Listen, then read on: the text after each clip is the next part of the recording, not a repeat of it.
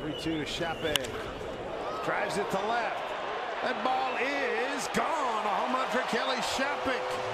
His first Mariner home run. The Mariners on the board with their first hit.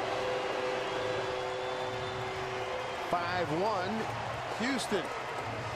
And for the Mariners, that's their 13th home run of this young season. They started the, the game fourth in the American League. We're just talking about the fastball of Peacock. Well, he challenges them 3-2. And you can see Kelly, that pitch is down and in. The veteran knows. Taking line drive at this Saunders made the catch. Here's a hanger.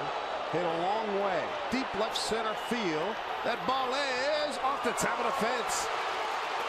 They're going to wave Ackley. He's coming to third. And a relay. Not in time. RBI double. Kelly Shoppach. Signs of life. 5-2 Houston.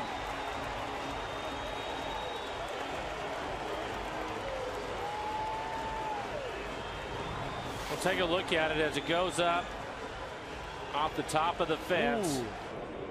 Well, the umpires had it right all the way. It was a good night for Kelly Shoppach. He's driven in both runs for the Mariners, a home run and then that double.